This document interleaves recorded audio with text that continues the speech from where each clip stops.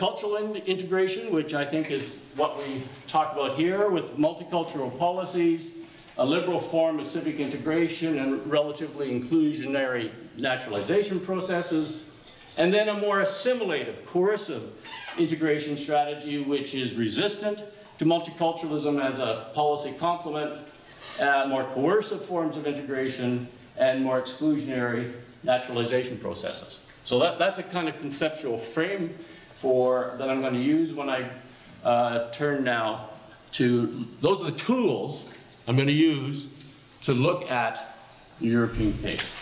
So, has Europe made a sudden bend? Is there a sudden bend in the path of history in Europe? That is, has Europe moved quickly or sharply from a kind of multicultural path to a civic integration future?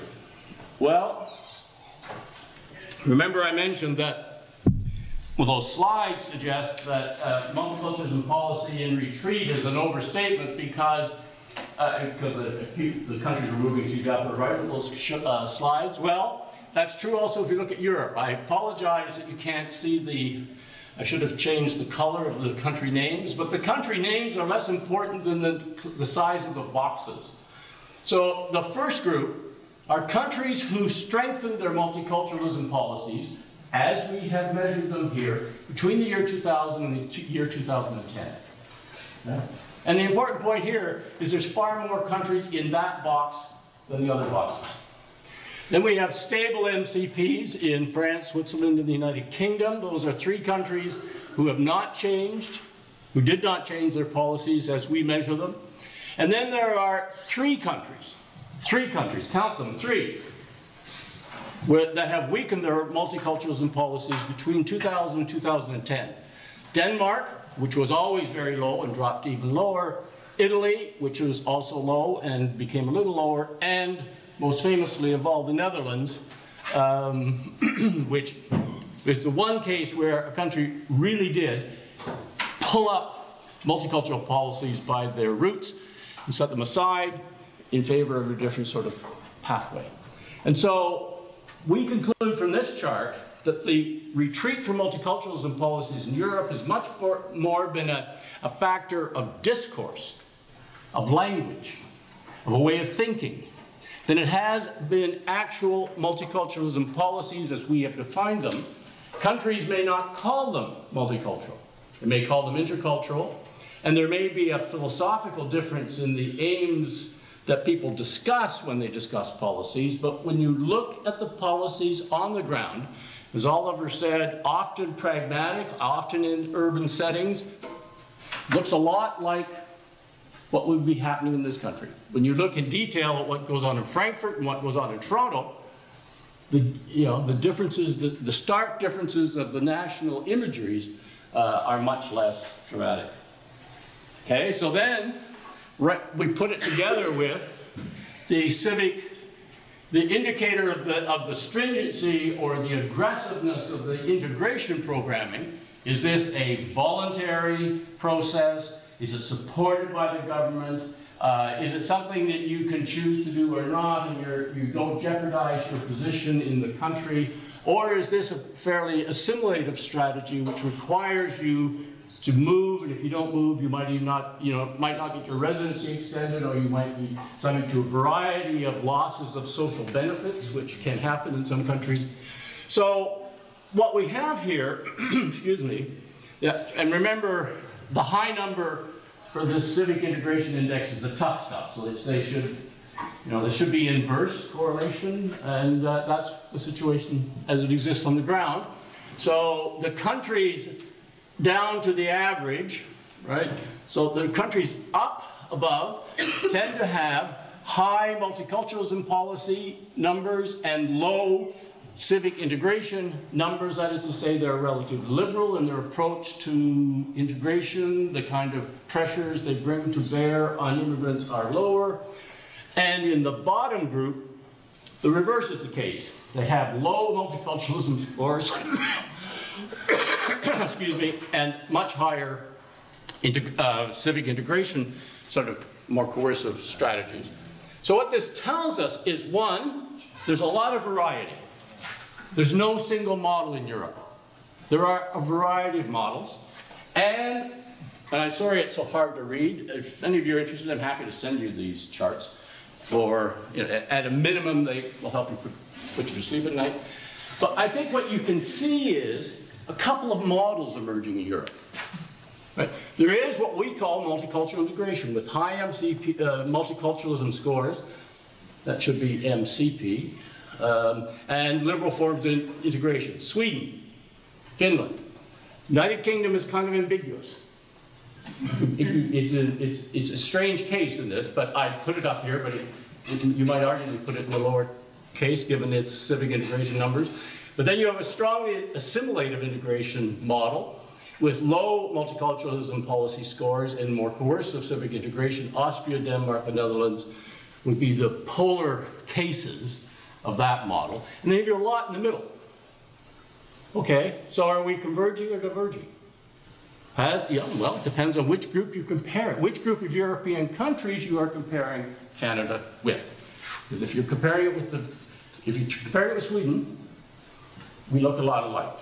Indeed, I would now call Sweden the poster child of integration. It's it of multiculturalism.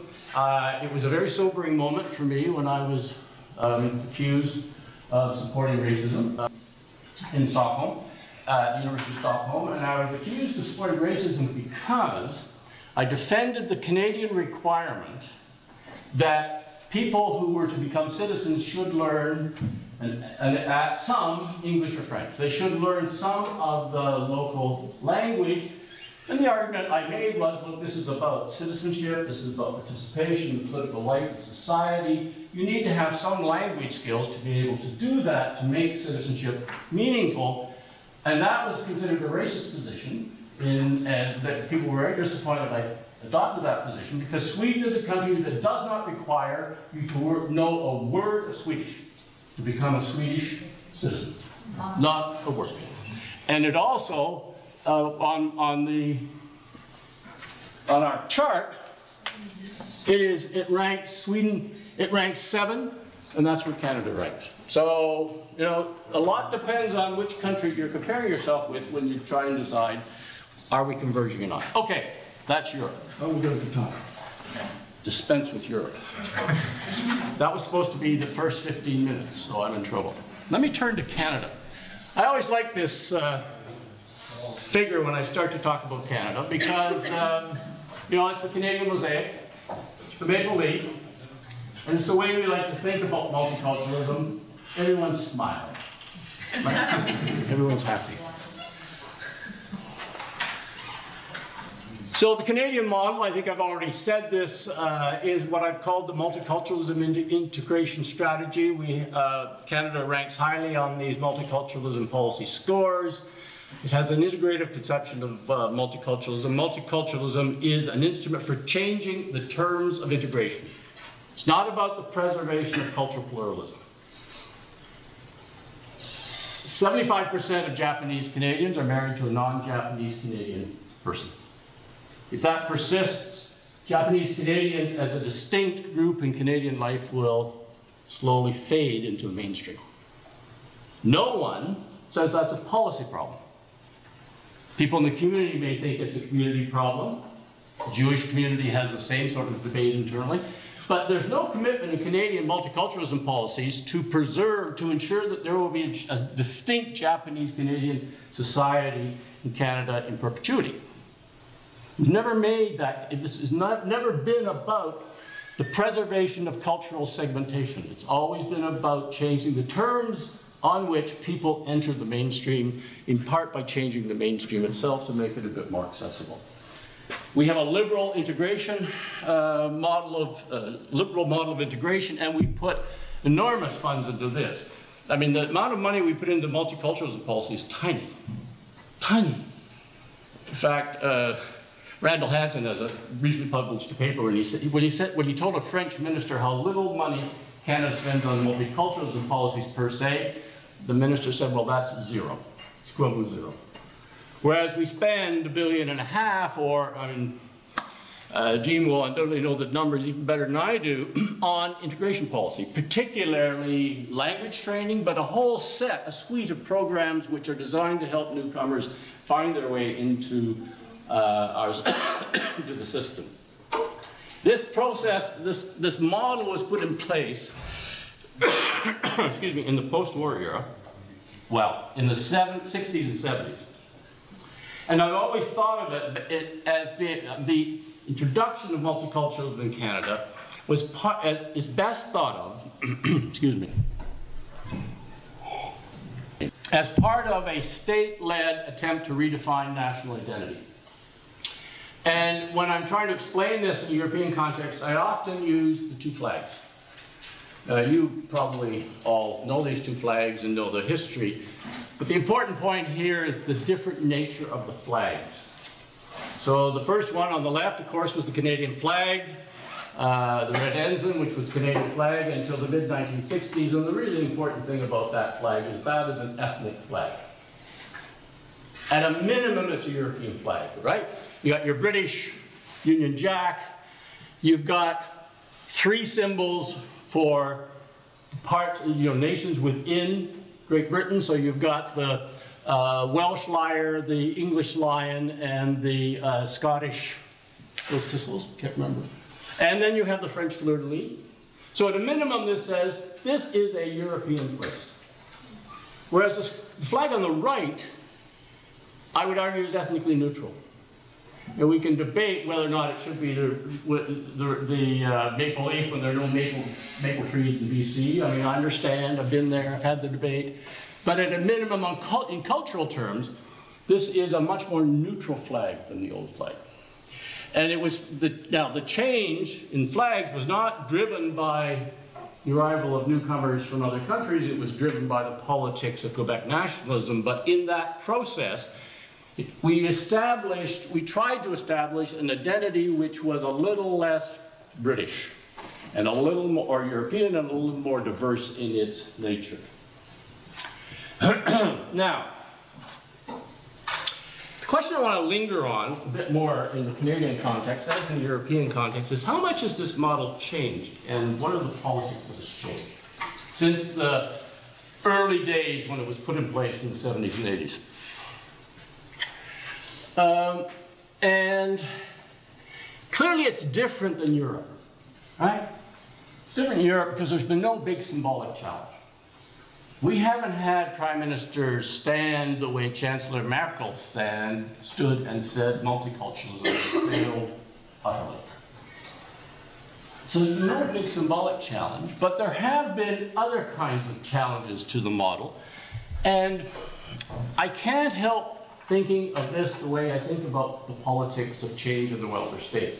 So Oliver said that historically most of the work I did was on the politics of redistribution, the politics of the welfare state. And there is a lively theoretical debate about the nature of political change or nature of policy change in a system which is deeply embedded symbolically in a society.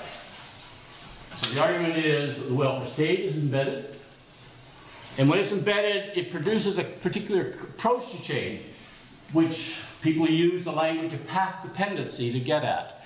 So,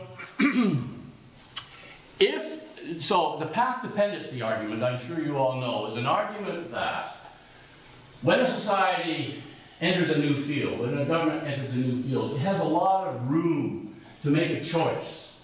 But once it's made its first big choice and put in place a policy structure, his choices quickly narrow because over time that policy structure begins to build supporters. It becomes embedded in public expectations. Interest, organized interests begin to find a way to live with it and accommodate it or support it, particularly if they're involved in the delivery of the benefits through it. So a lot of people have argued that the welfare state has actually proven relatively durable in Western nations in part because of path dependency, the tendency of systems to develop support, and in that context, you get a particular approach to change. You don't get the big uh, Uh, big symbolic attacks, if you do big symbolic attacks on a welfare state, you get rebuffed, as Margaret, Ronald Reagan, Reagan and Margaret Thatcher discovered. If it's embedded, you should expect to see reform by stealth. You should expect to see sensitive boundaries, boundary lines that are hard to change. And you should expect to see policy drift, which is to say that if you have a system which is in place and it has an internal logic, it tends to drift forward, even if the problems it should be dealing with kind of over here are changing and is ignoring the new forms of, in this case, diversity, that it might have embraced if those forms have been around when it was put in place. Right? So there's a particular dynamic, political dynamic to embedded systems, and so the question to ask is, is multiculturalism embedded in Canada in the same way that the welfare state is embedded, and therefore should we expect to see the same kind of politics? Is it embedded? Well, I think most people would argue that it's embedded at the symbolic level. Uh, Oliver's referred to the surveys which say that Canadians often say that multiculturalism is a defining feature of their country. It comes even above hockey in some surveys, uh, never above uh, national parks and so on, but uh, pretty high up. I'm going to argue that when you look at specific policies, on the other hand, it's not as deeply embedded and not as deeply embedded as important parts of the welfare state.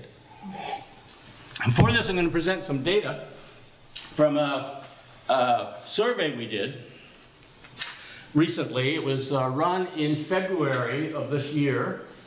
Uh, and it was a survey actually done in the United States, Quebec, and the rest of Canada. Three separate samples because we wanted to be able to compare Canada, the rest of Canada and Quebec, because this was going on about the same time as the intense debate over the charter was going on, charter of values was going on in, in Quebec.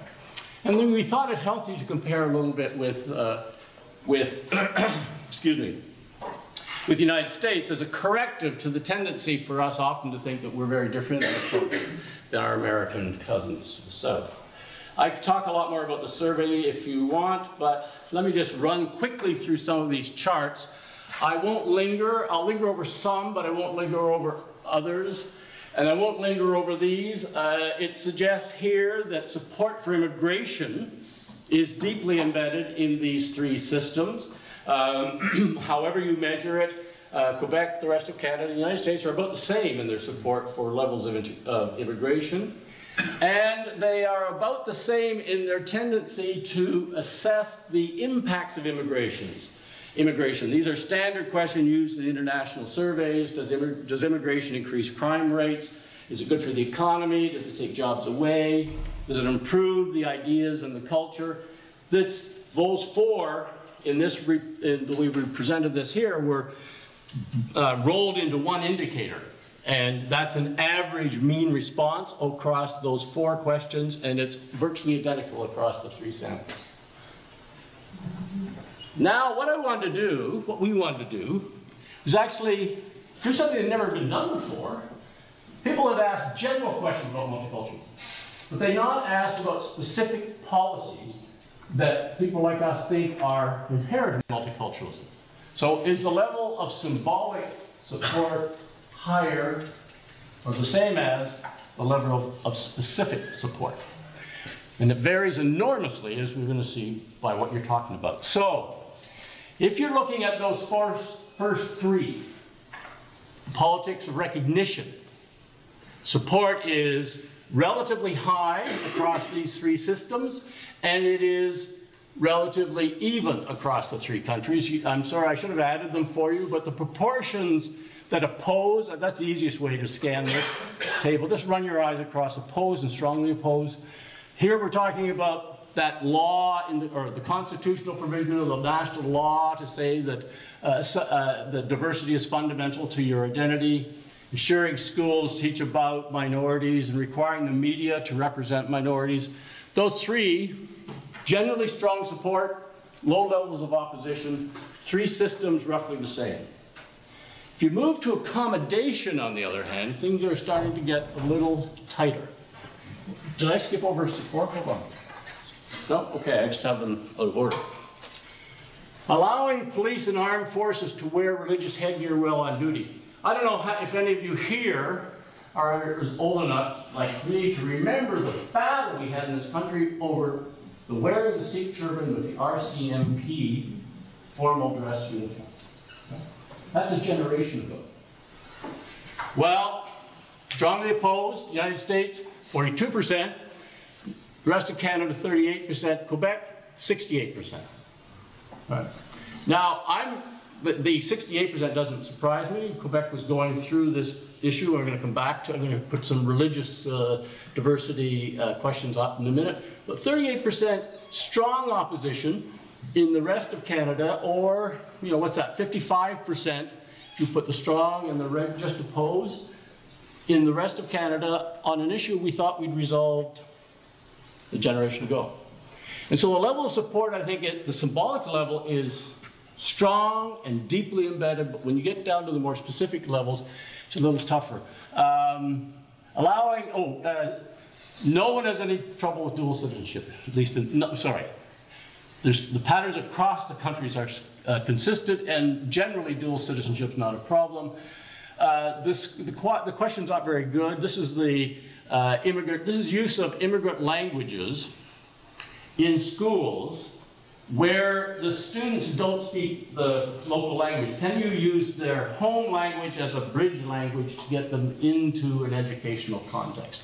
You can see, not bad across uh, US and the rest of Canada.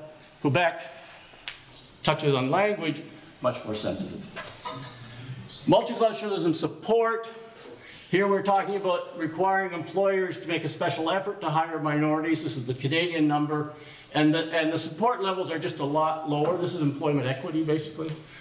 The one on the right is the American version, which is uh, affirmative action, formal targets, um, and is relevant mainly in the US compared to here. So, on that set, my sense is that the concept of multiculturalism, the imagery of, of, a multicultural, diverse society, and programs which reflect that symbolically are well embedded in our country, but that the you know, uh, more specific manifestations of that, the support declines as it becomes a little more intense in its relationship to individuals. Now let's talk a little bit about religion and identity. And then I'll try and draw out some conclusions for the politics. I apologize, Oliver, I'm out of time. So we also asked a number of questions about religion and identity. These were questions we took from international surveys in the main, and we invented some Quebec-specific questions. Well, no, no, well, you'll see. Um, and this was prompted by our desire to understand the dynamics clearly going on in Quebec and the different kind of response that seem to be happening in the rest of the country about the role of religion. This question is a very common question used in international surveys. How important is each of the following for truly being either American or Canadian, or whatever country is being examined? To have been born in the country. Do you have to have been born here to be truly Canadian? That's the kind of question and you can see the responses, and um, it's, uh, it's higher than one might like, I guess, across those three countries. To have ancestry, uh, lower levels there. But the interesting one for my current purposes is to be Christian. How important is to be Christian to be a real community? To be real community? Well, uh, in the United States, if you take vary, take, uh, I've highlighted the vary, but you have to add in the sum. US, clearly more important. Rest of Canada, lower. Quebec, zero. Well, virtually zero, right? And so it's not, and we're going to see that in Quebec, there's anxiety about public manifestation of uh, religion in the public space, but on the other side, it's, you know, they are also not of the view you have to be Christian to be a true Canadian. And so it is as if religion should be not part of identity uh, rather than a particular religion should be part of your identity. So, um, kind of interesting. Then we decided to ask, in effect, the charter, charter question.